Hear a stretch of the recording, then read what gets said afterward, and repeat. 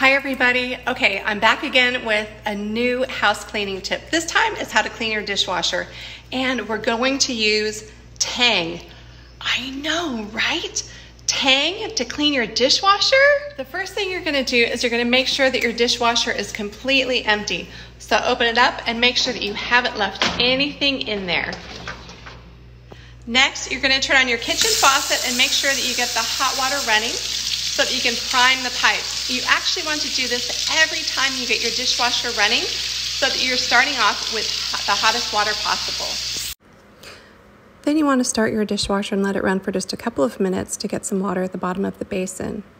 Then you'll add one scoop of Tang into the detergent dispenser and close that up.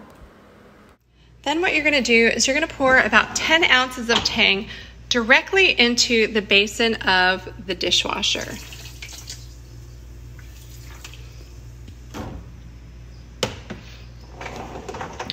Then you're just going to close the door and continue the cycle until it's done.